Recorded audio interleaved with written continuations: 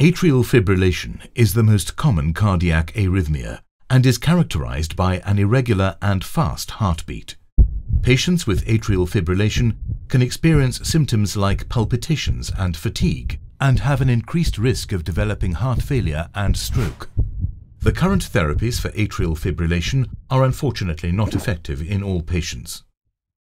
Research into new treatment options is, at the moment, performed primarily using laboratory animals. The differences between the human and animal heart have as a consequence that newly developed therapies frequently show disappointing results when tested in patients.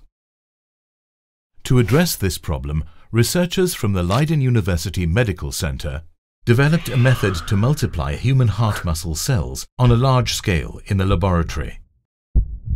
Using virus particles, human heart muscle cells are equipped with a special cancer gene that can be switched on and off when this gene is switched on, the heart muscle cell loses its specific properties and starts to multiply. When the cancer gene is subsequently turned off, the cells stop multiplying and start to behave again like regular heart muscle cells.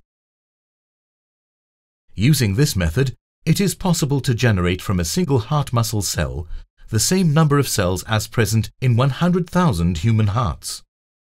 The use of these multiplied human heart muscle cells has various advantages over existing alternatives such as heart muscle cells from laboratory animals or stem cells.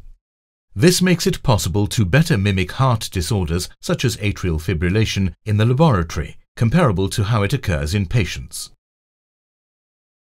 The researchers hope that this new virtually infinite source of human heart muscle cells will lower the worldwide use of laboratory animals for research into heart rhythm disorders and other heart diseases.